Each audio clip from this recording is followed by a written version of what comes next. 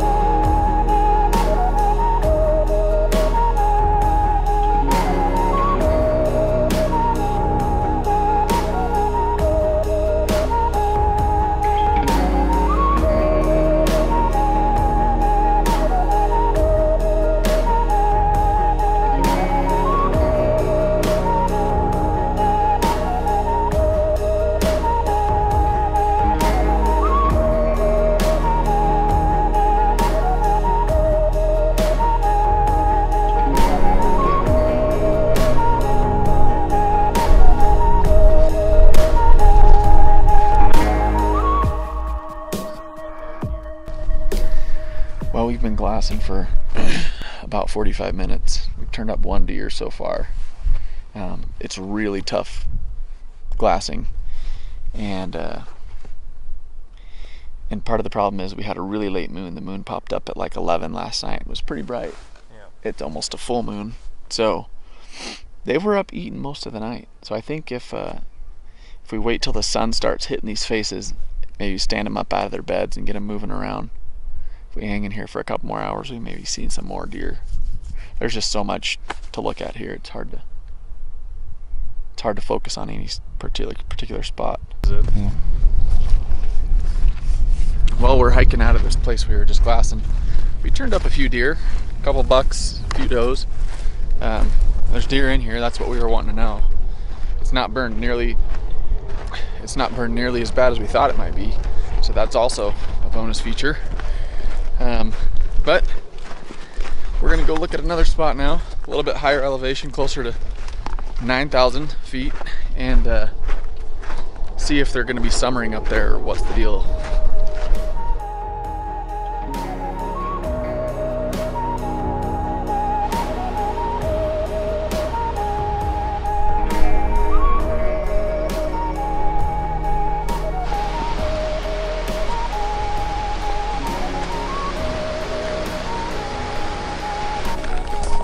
Well, we're embarking on another adventure.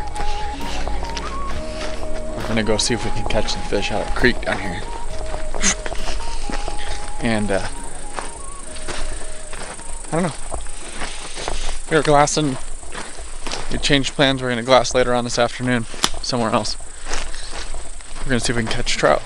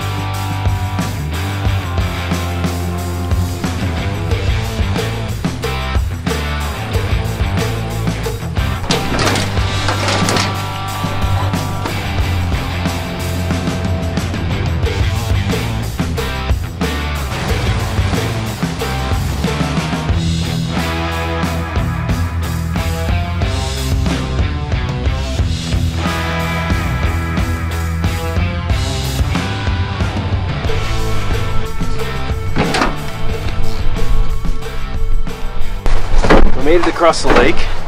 We're gonna go hike up this granite face over here and go uh, check out, see what we can see on the other side of this mountain range. Um, hopefully, we're gonna have to be able to find some real populations. Uh, what we saw this morning was pretty light for the area we were in, so let's get it going.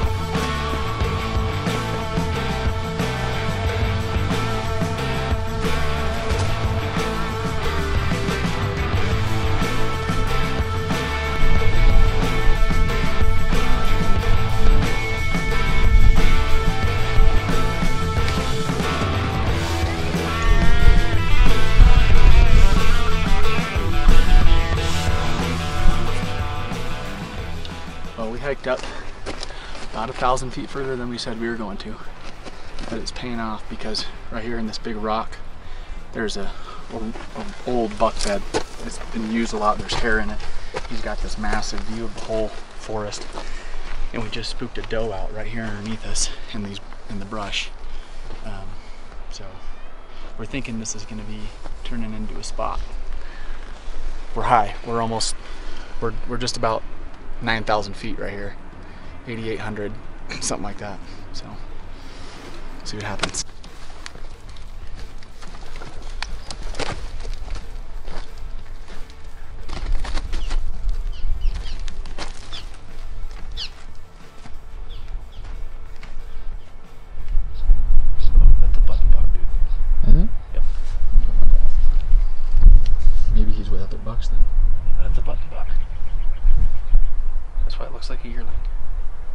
Tipped his ear up, I saw a little nub.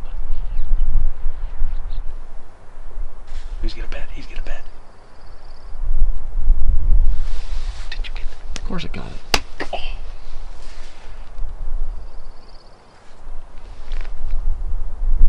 So that's not a doe actually. It's a little tiny, tiny, tiny buck.